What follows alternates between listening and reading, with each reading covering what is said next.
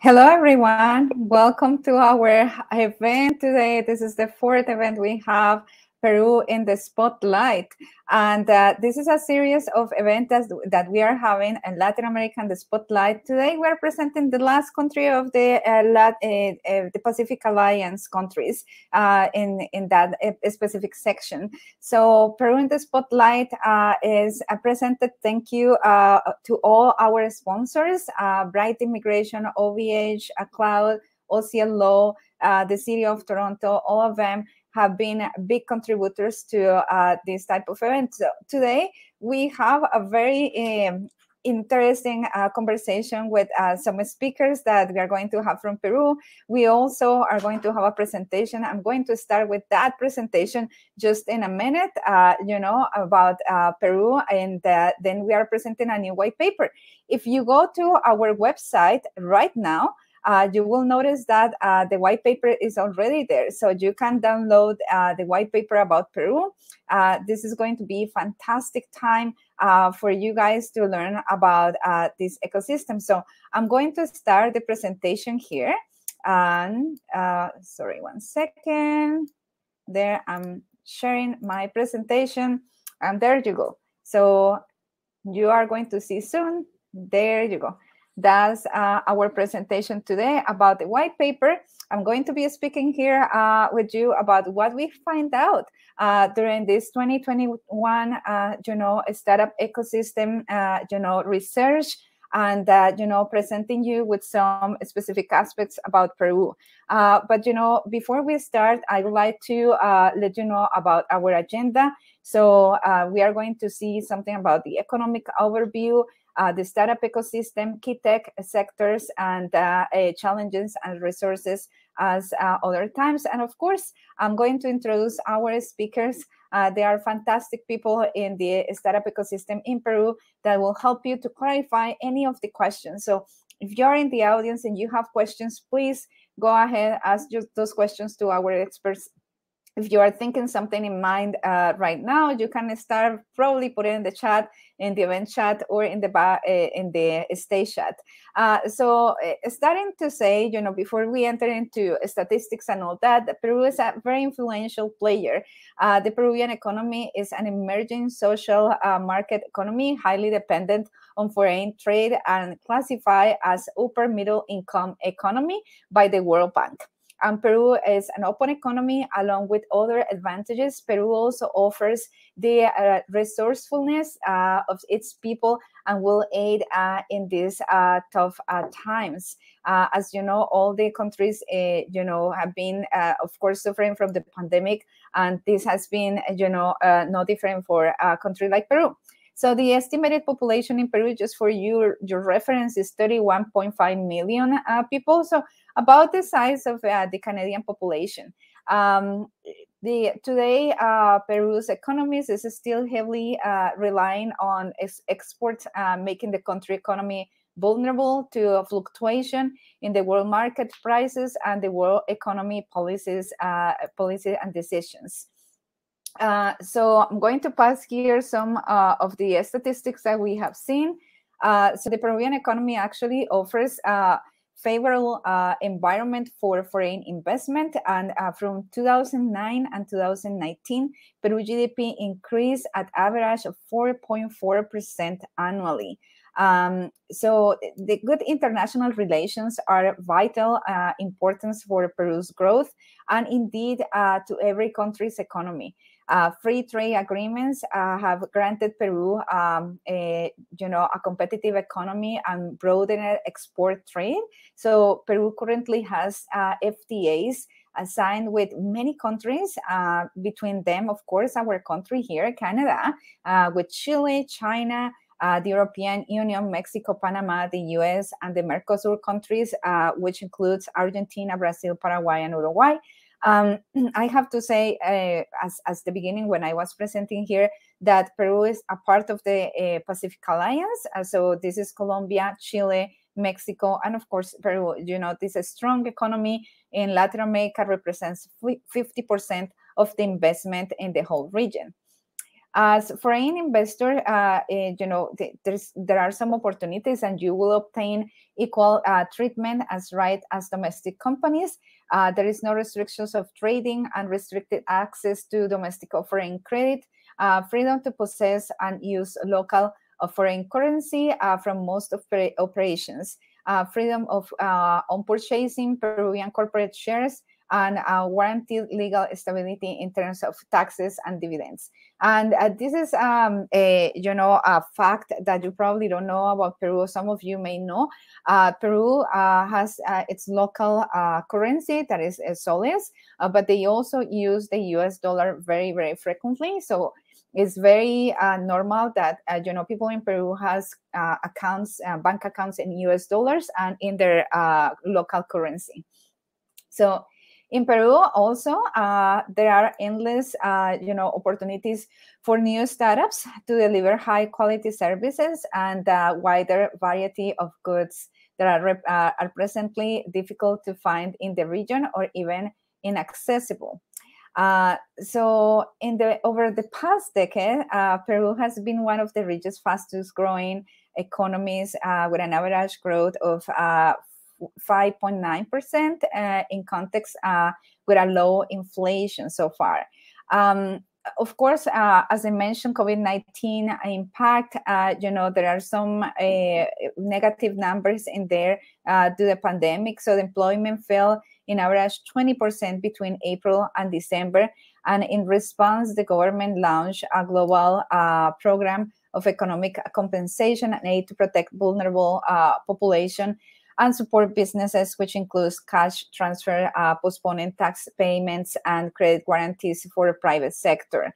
Um, the other uh, thing that you should consider is uh, what is uh, what is going on. You know, right now there is a new government. Uh, we we can probably speak with uh, the the speakers uh, later on about this part because it's a totally new you know approach that they are having right now.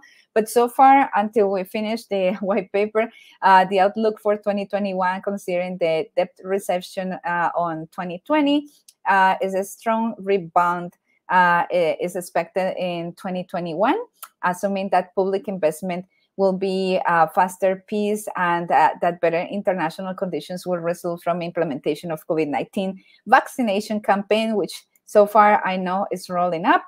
And at domestic uh, level, the prevalence uh, for some restrictions, uh, risk aversion, and uncertainty may slow recovery of private spending. Uh, in, the, in this context, uh, despite the strong rebound, uh, GDP will remain below uh, the uh, pre-pandemic uh, level, we believe so far. Um, you will find a lot of information in our white paper from the sources that, you know, where we got all this information if you're curious to get a little bit deeper about the numbers and context that we are proposing in this white paper. So some other economic, uh, you know, aspect that you may like to consider, 32.7% GDP growth was reported for the third quarter of 2020 uh, after uh, minus 27.1 GDP growth uh, was reported in the second quarter of 2020. So it's good that we can see so far, you know, uh, it's rebounding uh, the economy and uh, it's started to grow again. Um, 3,370 uh, US dollar was how much the foreign investment in Peru increased by the first quarter of 2020 and raising rap rapidly after decreasing by uh, 490 million dollars in the second quarter of 2020. Uh, now, uh, another statistic, 9.4% is the unemployment rate uh, through June 2021, which has been a decrease since the peak over 16% during the uh, 2020 uh, year, and it's still uh, much higher than a 2019 rate that is 6%. Um, the other number, 3.8%, uh, is the annual inflation rate for July 2021, which has been steadily increasing since 2018. We know here in our country, also in Canada, we are, uh, you know, experiencing an increase on uh, inflation. I think that's a global kind of impact that is happening so far. Um, Peru has a strong economy fundamentals, which allows the stability and consistent growth through uh, the last decade anyway. But, um, you know, another statistic that you are going to see there, 3.9% of Peru GDP was the foreign direct investment in Peru in 2019. And after experiencing a decrease of 2.9% uh, in 2018, this is what we are seeing so far.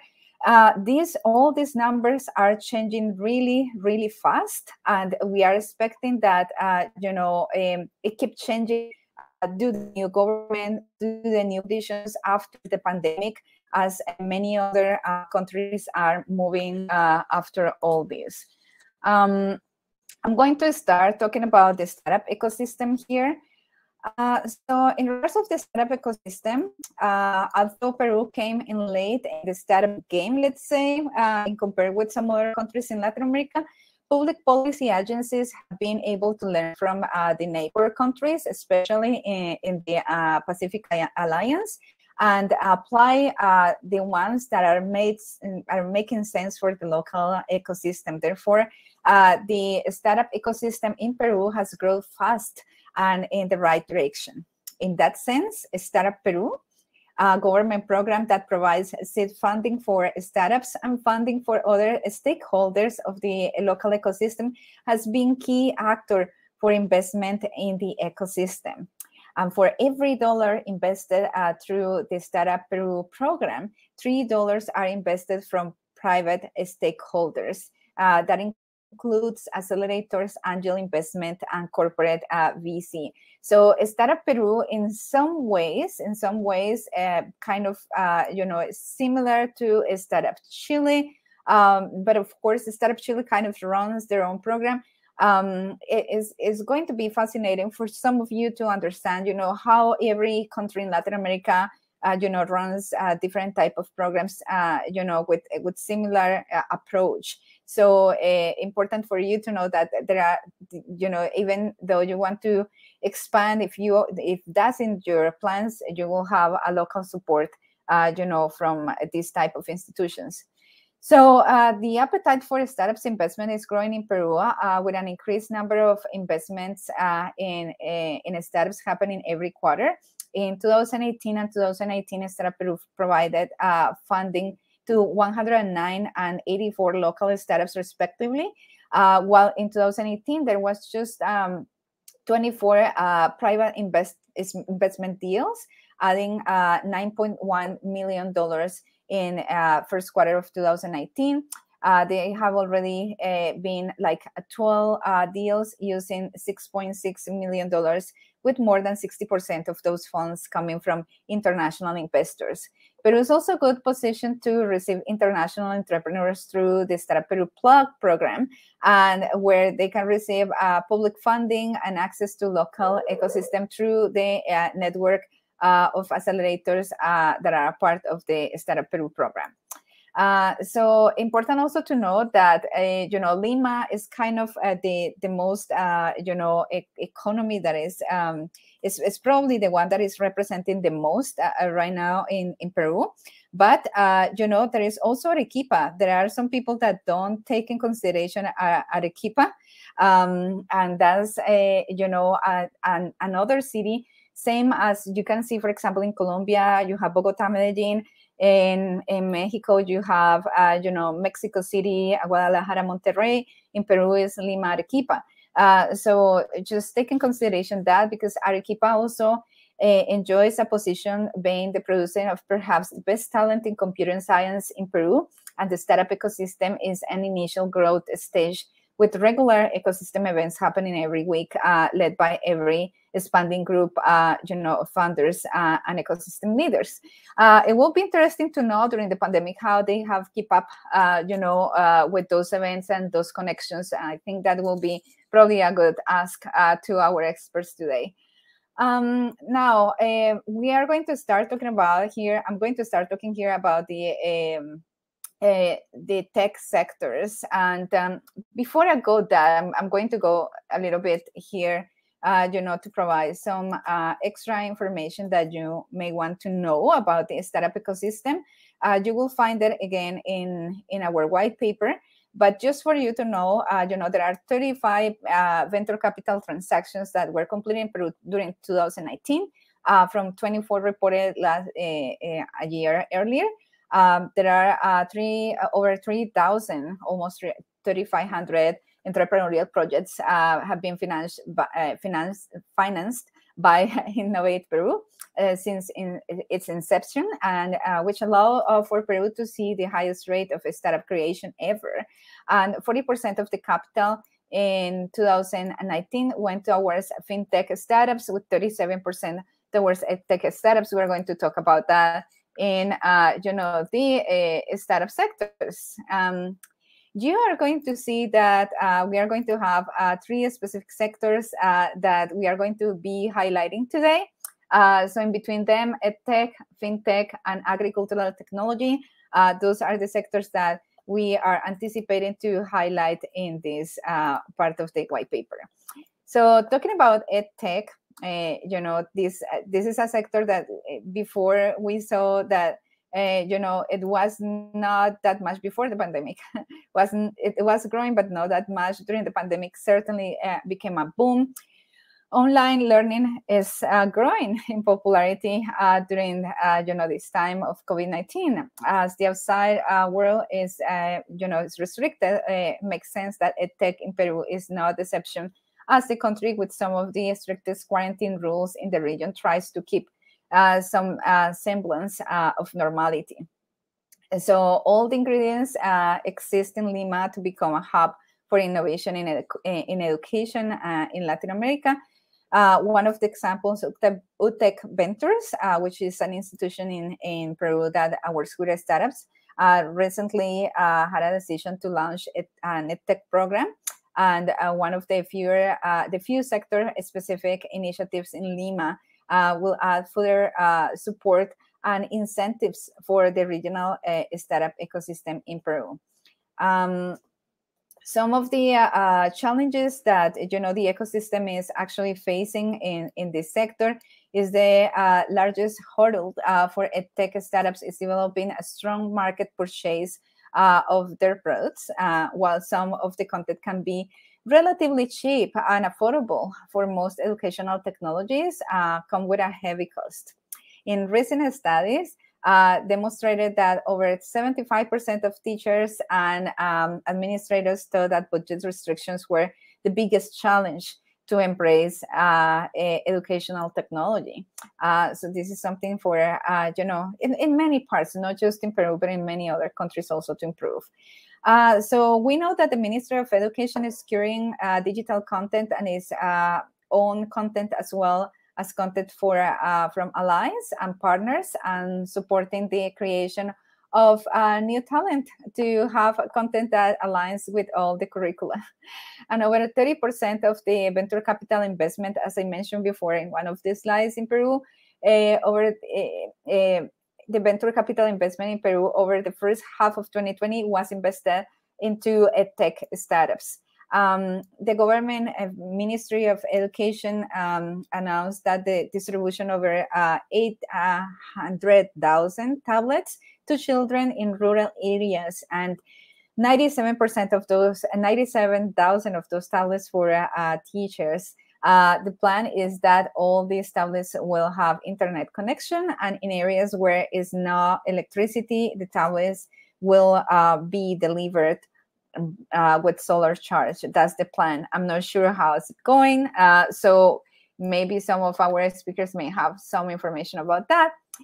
FinTech is another kind of, uh, you know, very common type of sector that we are always highlight in our white papers because in Latin America, FinTech is a big deal. Um, in Peru, at least, the fintech sector have experienced a boom in recent years, attested by continuous rise of venture capital investment. And as of uh, mid 2020, for instance, fintech was the one in the top of technology sectors in Peru, believed by entrepreneurs uh, to have benefited uh, most of the uh, from the pandemic. As each year passes, more Peruvian population hopes uh, in the uh, fintech uh, bandwagon, uh, and providing the South American country to be fruitful market for the uh, for this type of industry. So the challenges uh, that you know this uh, industry is facing right now, there is a high dependence on local networking and connections to have success in this sector. Additional, even though uh, there is a lot of venture capital in this sector, there is a continued trend for investment to be focused primarily primarily in proven startups which is kind of a common case for many other countries too. Uh, this is rapidly growing uh, competition in this sector and is only, only the most successful uh, are often granted with significant investment. Uh, so um, some of the subsectors I want to highlight here, the payment and remittances is the leading sector with over 23% of the fintech market share and uh, the following sector uh, are currently uh, exchange, finance, infrastructure for services, and financial solutions for companies. Uh, for the fresh industry, uh, you know, like the majority of Peruvian fintech startups consist no more than 10 employees, uh, fitting the idea of a young startups having a small and closely 19. And then uh, in Peru, around 70% of the population is unbanked. Uh, you may be finding that a little bit shocking, but unfortunately, in many parts of the uh, in, in, our Latin American countries, there is a huge number of the population that is still not uh, linking with banks, um, which equates about 40 million people. Uh, the industry is home only uh, approximately 120 startups, which leaves a lot of space for new organizations to grow. Uh, and then the increased investment, uh, part of the increased investment, despite being an emerging industry, uh, the fact that fintech accounts for over 7% of the country venture capital investment constitute uh, an acknowledgement uh, of its, its potential uh, with, within Peru financial market. Now that's about fintech, and our final, you know, sector is the agricultural technology sector and then we are going to be preparing to receive our speakers. So i will be asking you know our speakers. I see already Emilio and lucia there. Um, just to be waiting for another eight minutes and we are going to be speaking with you uh, so hopefully uh, pedro is also joining us soon um, the agricultural technology uh, the peruvian agriculture provides a great opportunity for ag tech and food tech innovate innovations uh, as a startup school pilot uh, solutions, starting from small farms, uh, first before scaling abroad with larger clients. Peru is well known for its food and gastronomy. If you haven't tried Peruvian food, you should is delicious. It's amazing. Uh, always missing uh, my Peruvian ceviche. there is an increase in export-oriented agriculture that contributed to the country impressive economic growth uh, with the help of growing wellness trends. Peru has a corporate advantage in uh, superfoods uh, that are popular with millennials globally. Ag tech and uh, food tech also gives Peru an opportunity to expand from its history of uh, production of most raw agricultural production uh, into value added uh, products and higher uh, higher margins. So some of the challenges that you are going to see in this sector. Um, you know, Peru has a strong fundamental agricultural market. Many of other countries in Latin America are competing uh, for the same space. Countries such as Brazil, Argentina, and Mexico are also rapidly uh, um, advancing uh, their agricultural in infrastructure into incorporate IoT and ICT, attracting an increase uh, increasing share of international investors. And by the way, our next event is Brazil in the spotlight, and after that, Argentina and Uruguay in the spotlight. And you will see, you know, how these countries are also leading in this uh, sector in particular. So, uh, as a government initiative, Peru government, uh, the Peruvian government initiated a plan over um, to uh, 177 uh, million US dollars from 2015 to 2019 to specifically develop technology innovation in the agricultural sector. The portfolio of projects is uh, directed by uh, National Institute of Agricultural Innovation, who has constantly engaged diverse uh, regions in the country to be part uh, of it. Uh, now, in regards of the innovation, in 2020, Peru decided to carry out an open innovation process where companies and entrepreneurs have been called uh, on to present a pilot uh, solutions to provide information for decision making uh, of small agricultural producers. Now, for the growth potential, uh, so you will see that you know an important contributor to the agricultural industry is the government. Peru participated in 2019 Anuga Fair in Germany. The Peruvian agricultural workers secure financial commitments from investors for a value of 211 million US dollars. And the countries that reported interest in Germany Fran- were Germany, France, uh, South Korea, Russia, um, United Kingdom, Turkey, India, and Poland.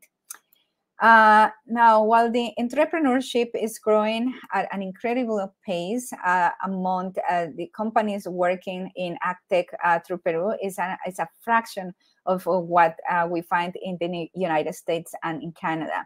This means that providers can also concentrate in selling their idea and solutions itself.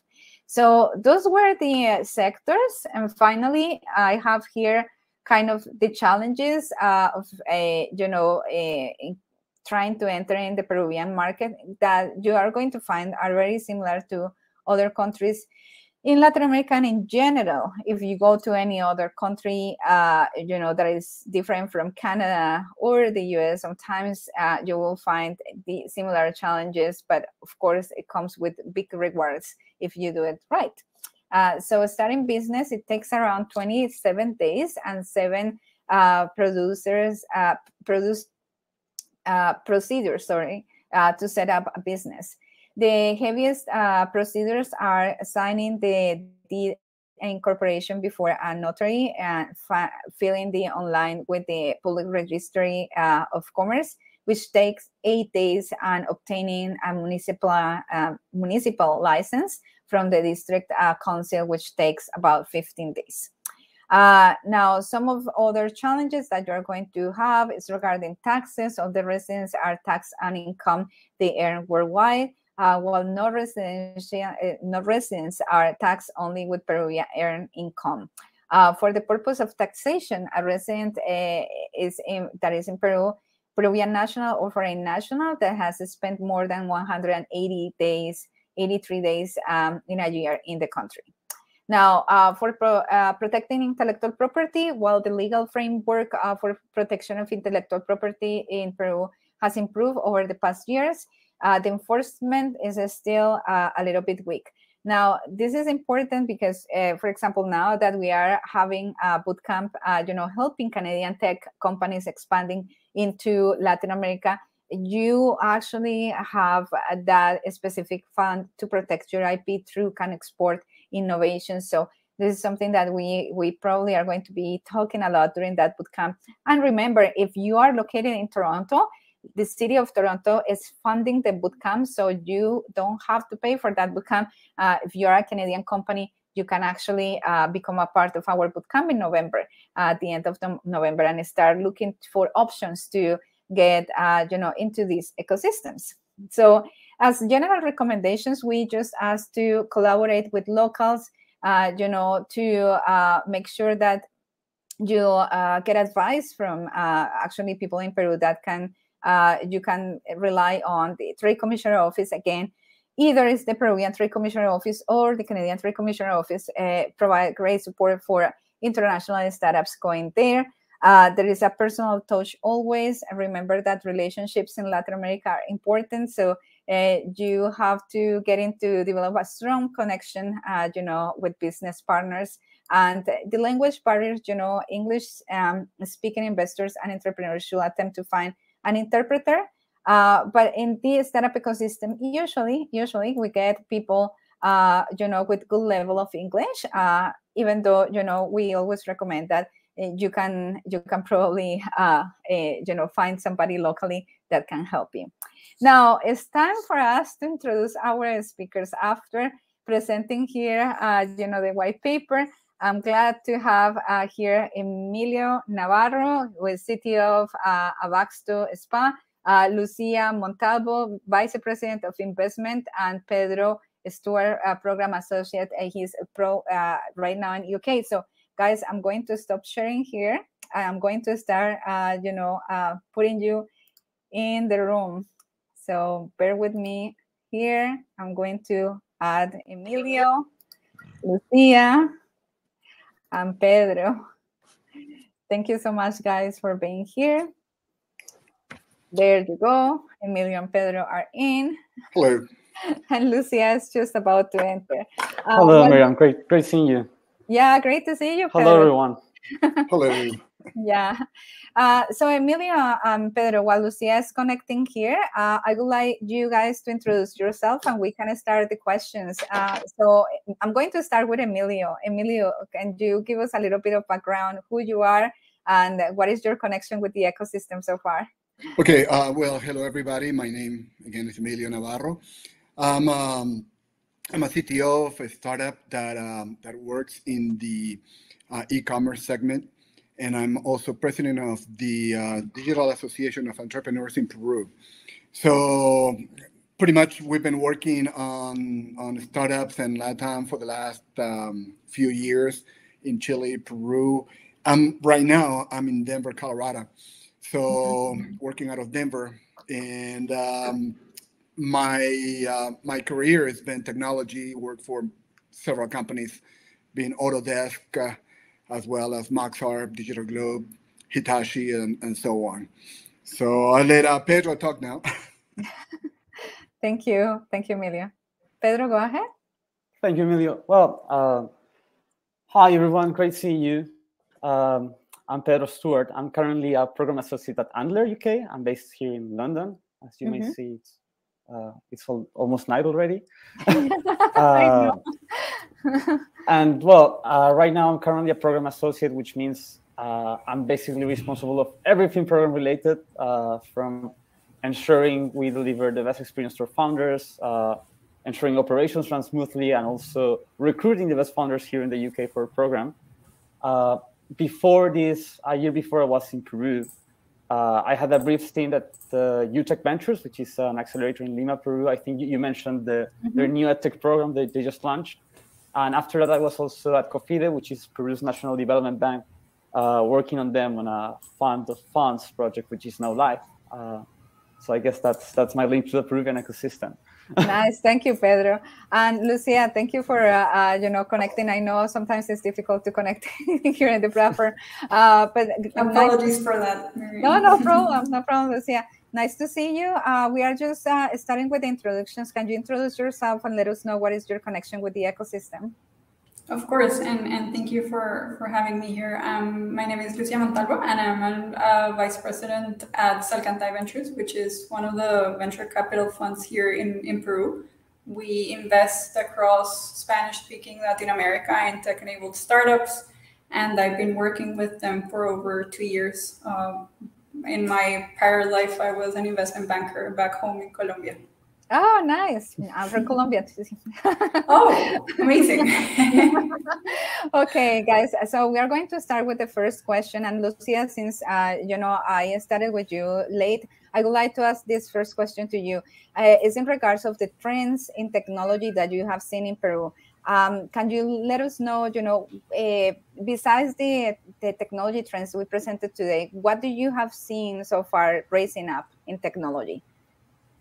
Um, I think a lot of things, but similar to like what happened in every other country, people have started engaging with technology like much more than before, right? So given the lockdown measures and social distancing, uh, people started to buy groceries online. Be children studying uh, were studying virtually. People were like basically forced to work from home, um, seek uh, healthcare virtually. So in general, I think our, our, our relationship with technology has deepened, um, and we I think at Salcantay are convinced that this was not just uh, like uh, a, a juncture thing that is going to go away after the we we are over the pandemic uh, even though kids will eventually go back to school, although it's taking a little bit longer here in Peru, and people have already started returning to the offices, um, I think we realized two things, uh, key things. One is that in many instances, technology can actually make our lives more convenient.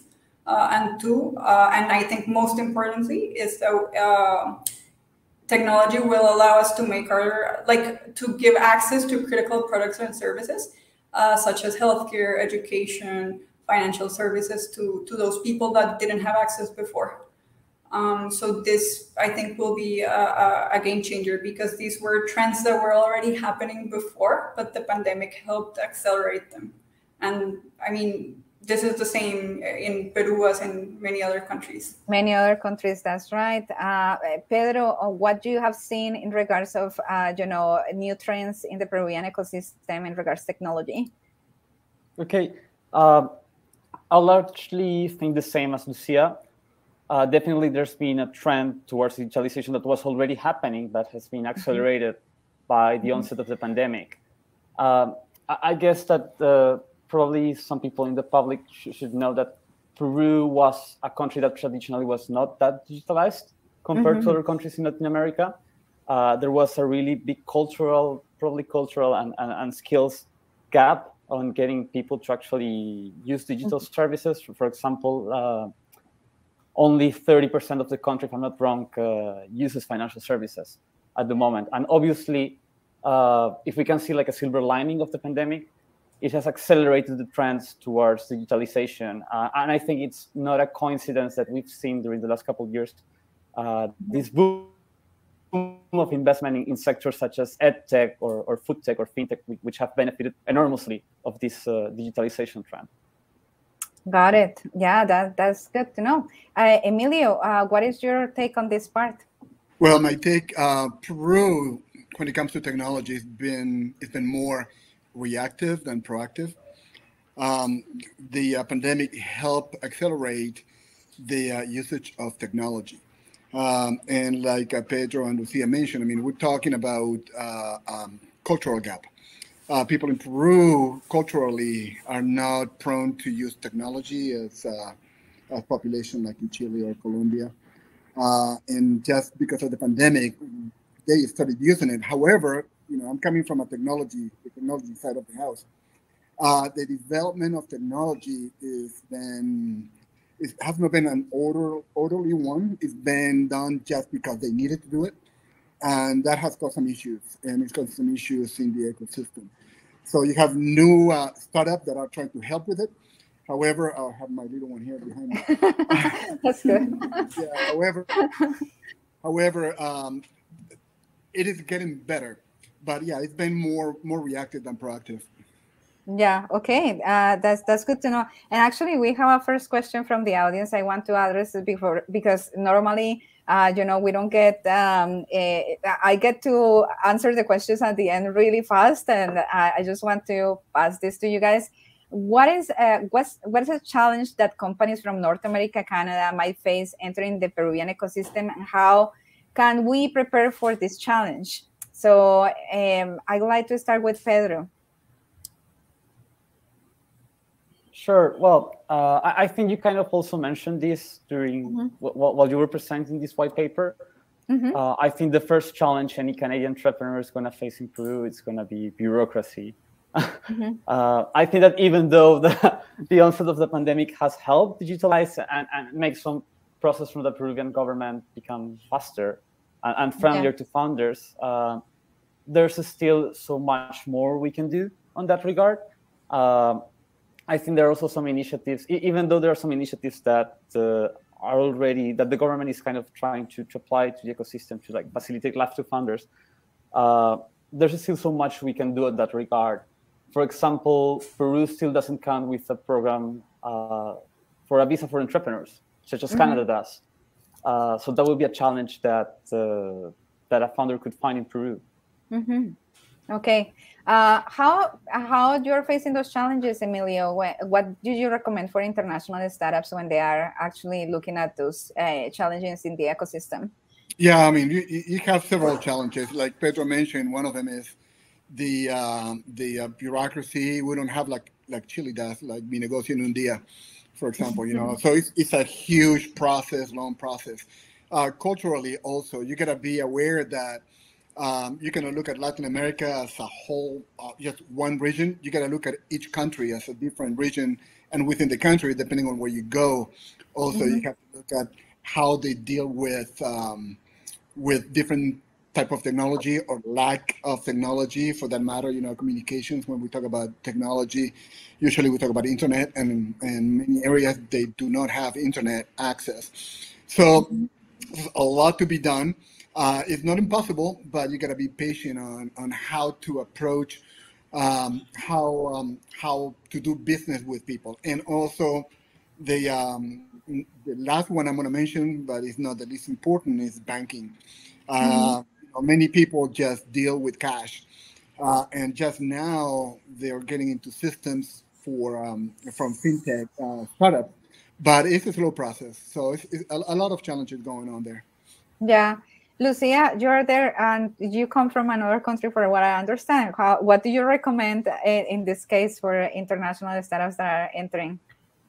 I think, uh, like you guys covered a lot of it, but I think something that is key uh, in coming into Peru or Colombia or other countries in the region is that Latin America is a long-term play and we cannot like be scared with like the like political or macroeconomic noise that we usually tend to see. Like we uh, for instance are seeing some political instability in, in, in Peru right now.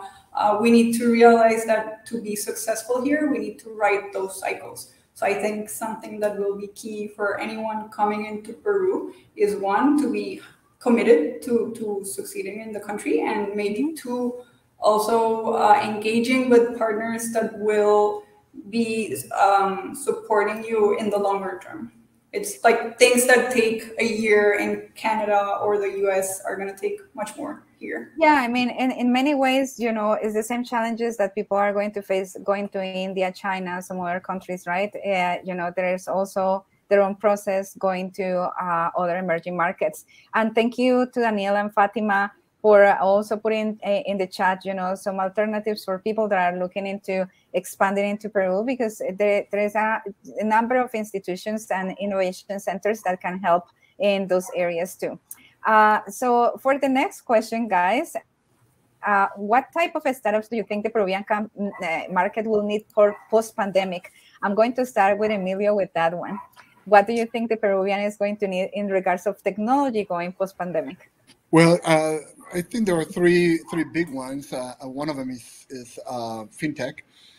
we need to understand that you have to be bankerized. I mean, you have to to be part of the banking system in order mm-hmm. to uh, succeed nowadays with the global economy. The other one um, that I would like to mention uh, is uh, medtech. Uh, a lot of uh, startups are looking into medtech outside Peru, but not in Peru. So that is that is big. That's something that that is going to be a big market there. And I don't want to put aside agtech and, and, and other ones, but edtech uh, also is an important one. Uh, nowadays, I mean, with the pandemic, you can see that it's been utilized a lot, and that's something that is needed to be done. We have in Peru several startups that uh, that offer services, edtech services, and they've been successful during the pandemic. So got that's it. the three ones that I see. Oh, got it. Um, uh, Pedro, uh, what do you think about that? So I, I, I agree with Emilio. Uh, edtech and fintech are absolutely very interesting sectors with like very good perspectives of, of growth. Um, maybe if I, I would I have to add one sector to those, it would probably be food tech. Mm-hmm. Um, I, I, think it's a sector that has benefited enormously on how like uh, on the new way Peruvians kind of accessing these services through like uh, digital means. Um, I also think it's really interesting that uh, such a country that that such a country, you know, like Peru has this really big tradition and, and culture and, and cuisine and gastronomy. Mm-hmm. Um, so I really think that it's interesting, like that during the la- latest months, uh, we've seen a lot of a lot of investment going on on these types of startups, and I think we could actually like leverage this tradition on creating new startups on this field and you know like uh, taking advantage of these opportunities right it now. makes a lot of sense uh, being peru so strong in food uh, you know and cuisine. So lucia what is your take on this? And you are in the investment side so what do you think peru is going to need in, in the tech part? I totally agree with edtech. I think it, uh, education is key for like society to to be able to train the next generation in, in like people in the next generation uh, skills. Uh, and we know, as, as Pedro mentioned, Peru and like Latin America in general has the widest skills gap in the world. So that will definitely be key. But I think another area that's going to be very, very relevant is job tech and mm-hmm. how uh, individuals are able to secure uh, jobs, high quality jobs, and even remote work. Because as we know, uh, and this is very relevant for uh, countries like Peru that are highly centralized. Uh, talent is decentralized and, and is everywhere, but unfortunately, opportunity is not. So it, it will be key for us to to have uh, platforms that are helping people to find high quality jobs. And similarly, um, another area that I think is key is um, these gig economy platforms that are allowing people that are independent or informal to have a decent way of living. Uh, Peru has uh, like um, an informality rate of above 70%, and these people are the ones who were most affected by the pandemic. And so I think these platforms are going to be also key to to allow people to go back into having a job. That that's true. That's true, and I think that's uh, kind of a challenge that many countries are facing right now. We have a shortage of employees also here in Canada, so we're facing that too.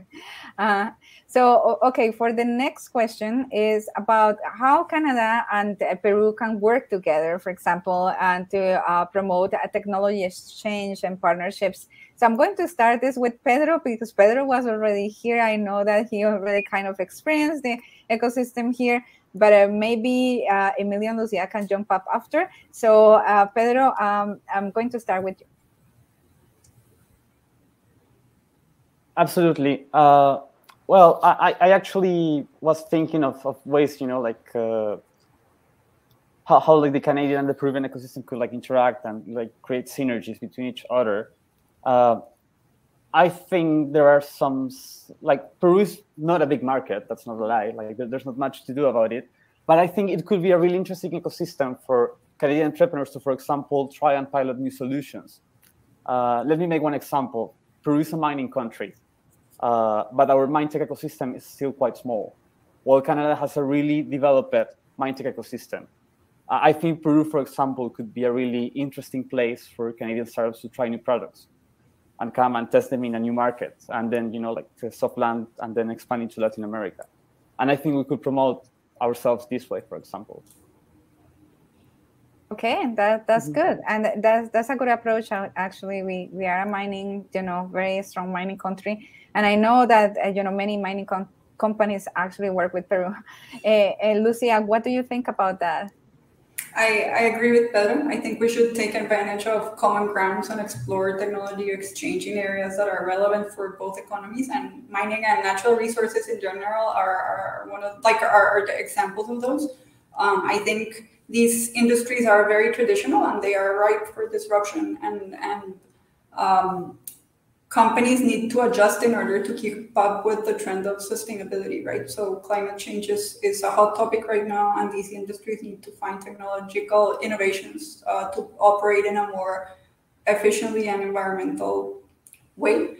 Um, and i think another interesting area of collaboration could be uh, for for the like to promote technology exchange uh, through large Canadian groups that are already operating in Peru. Like for instance, there's a lot of mining companies, but you have Scotiabank in the financial services sector. You have, let's say, Brookfield, a large asset manager that's investing in, in infrastructure. Um, it would be interesting to see them more involved in, in investing in venture capital um, and whether it is via direct investments in, in Peruvian companies or, or through local funds, for instance, like Salcantay. But for I think this would be a very interesting way for them to access uh, innovative technologies that can boost their, their processes in general. That's true. And I, I know that the uh, innovation factory from Scotiabank is working in, in Peru, but I'm not sure how you guys are working together with, with the investment side. That's one of the mm-hmm. things. Uh, but uh, Emilio, what is your take on this part? Well, yeah, I would like to make a point. Uh, I, I, think it's a great idea when it comes to, to uh, mining to exchange technology or to um, to uh, import technology from from Canada. Uh, you have companies like uh, Newmont that uh, that has this huge gold mining um, um, reservoirs in Peru. The only issue that I see there is that you have to keep in mind the uh, social part of it. So it's not just technology because um, you know it's, it's, it's bad like um, when when new technology comes in, the community sometimes or many times uh, do not have or do not do not receive uh, part of it. You know, it's just mining, and and that thought has to change. Otherwise, you know, we're going to run into social issues like uh, Peru is running into right now, and we got to avoid that with the help of technology. So it's not just uh, making money; it has to be social as well.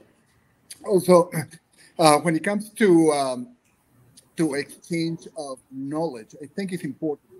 One thing, again, coming from the technology side of the house, I mean, uh, a lot of startups in Peru use technology uh, that myself I wouldn't use. I mean, I, I, I pretty much got my career in, in the U.S. That's where I I learned to program, and the technology we use is completely different than the one in Peru, which might not be scalable or flexible, and and that's an issue. So I think that with the knowledge that Canada could bring in that sense would be great for the new uh, developers, the new uh, technical people, uh, new generations in Peru. So that would be the kind of exchange that I would also like to see. Okay, no, that that's a really good idea, and thank you, Emilio, for that contribution.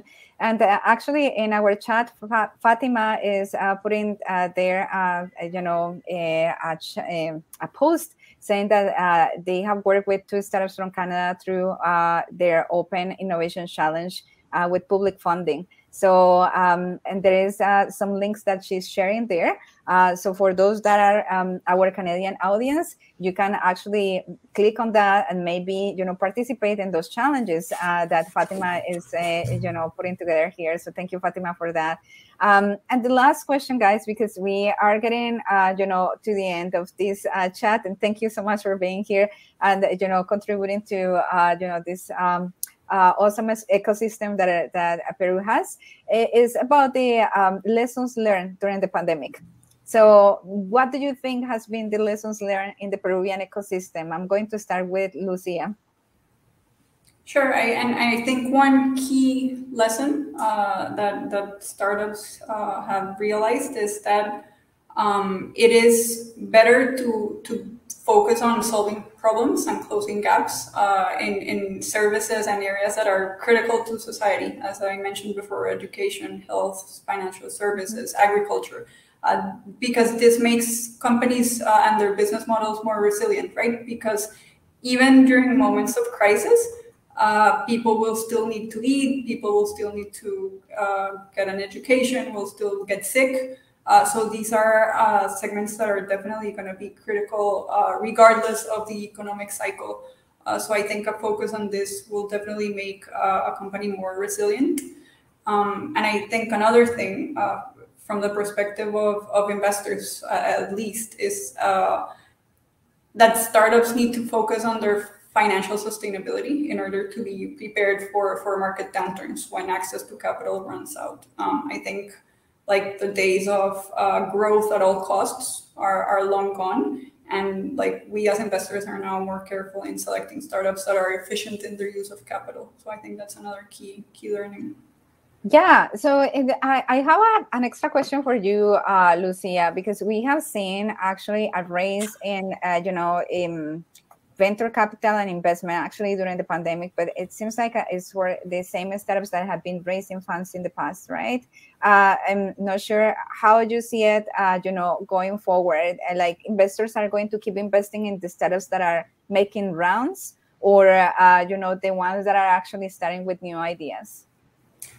I don't think that's necessarily the case. Um, we're seeing a lot of innovation coming from earlier stage startups uh, that are have been supported for many years by by programs by the government, and I think those programs are like critical for for the funnel of like companies and opportunities to keep growing.